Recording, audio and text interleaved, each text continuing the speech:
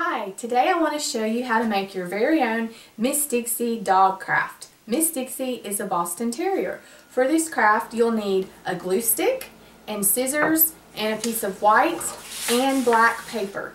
You'll also need to get my template which I'll tell you at the end of the video how to print out.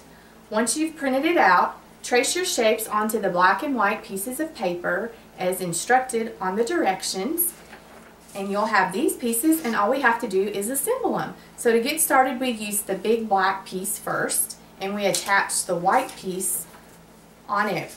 We line up the rounded edges together like this. And now we have the bottom done. I've already attached her nose. It goes right here above her mouth. Then we put this white strip and it's going to go just under the edge here. It's going to slide just under the edge here.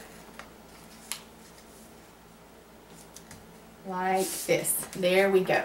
Now you have an option for the eyes. There's two different sizes in the template to make the white and the black part. You can use those by gluing them on or if you prefer like me, you can do googly eyes, big ones or little ones. I prefer the googly eyes. Now, after you've attached your googly eyes, all we have to do is attach Miss Dixie's ears.